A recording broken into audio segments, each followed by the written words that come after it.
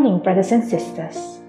Today's devotion is taken from The Desire of Ages by Ellen G. White, chapter 35, page 339.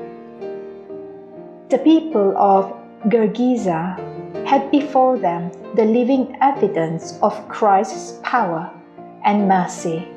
They saw the man who had been restored to reason but they were so fearful of endangering their earthly interests that he who had vanquished the prince of darkness before their eyes was treated as an intruder, and the gift of heaven was turned from their doors. We have not the opportunity of turning from the person of Christ as had the Gergesenes. But still, there are many who refuse to obey his word because obedience would involve the sacrifice of some worldly interests, lest his presence shall cause them pecuniary loss. Many reject his grace and drive his spirit from them.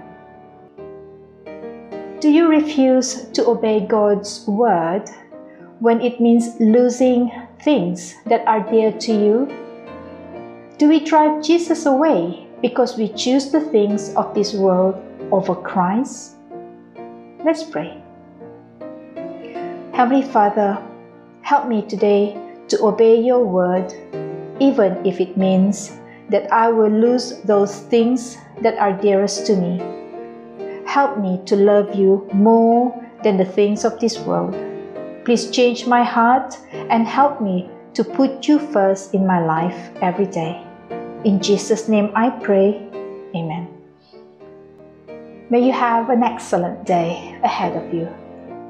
Goodbye.